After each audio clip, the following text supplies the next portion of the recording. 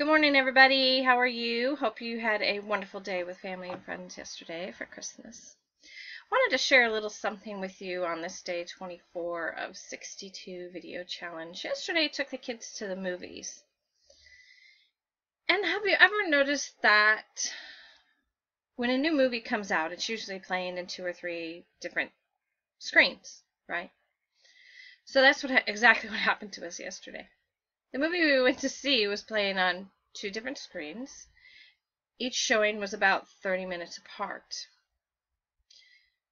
There was this one person there in particular who, number one, was in the wrong theater, wrong screen, if you will, for her showing.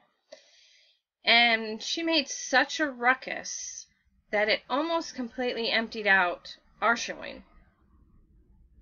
She also got the manager all in a in a in a tissy. The tissy was all about customer service. I totally totally agree for that. Customer service, customer first service. But check your facts first. Don't be so impatient. Um, make sure you have the right information before you explode.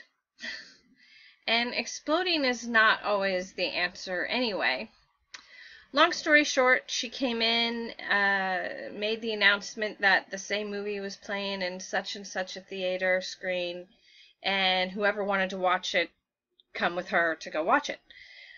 Well, first point was she was in the wrong showing.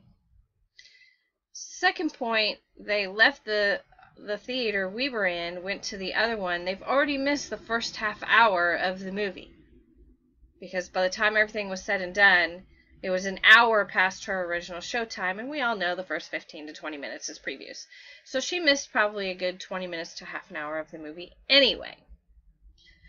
Long story short, the manager again redid everything, tried to reboot the system, unfortunately messed everything up, had to wait for another person to come in and fix it. There was only 10 of us that stayed in that theater waiting patiently we weren't worried about it. It was no big deal. It was Christmas Day. We wanted to spend the time with our family and friends, so it was no big deal. The manager came down. We ended up having to come back for the next showing. But the 10 of us that stuck around, we got free movie passes to go to the movies again, so we get to go back to see other movie. And not only that, but the manager told us, told everybody, no matter what size drinks they had, no matter what size popcorn they had, to bring it all back and they would refill it for free at the next showing. So, oddly enough, I like to tell her thank you. Those of us with the patience got the free stuff those that didn't have the patience and left the theater with her ended up missing part of the movie and obviously didn't get free movie tickets. Long story short, please have patience, especially this time of year. It is Christmas.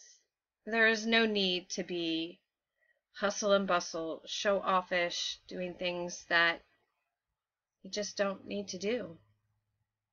This is the season, whether you believe in Christ or not, this is the season that you are to show love and respect for one another. Actually, you should show it every day, but during the Christmas New Year season, I mean, what what is this all about? Come on, guys. What is it all about? It's about spending time together. It's quality time, not quantity.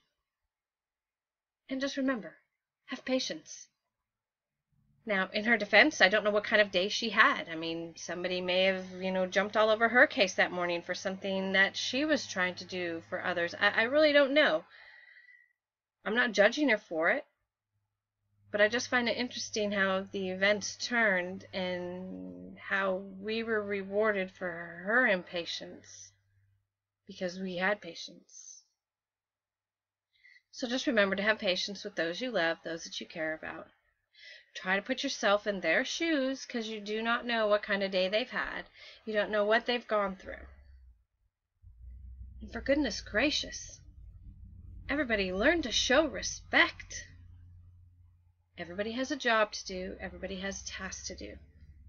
No matter how small you think it is, it will affect someone somewhere down the line. Anyway, here's to inspiring you and encouraging you. Keep the patience. You will receive the rewards. God bless to you today, and may you guys have a wonderful, wonderful end of the year.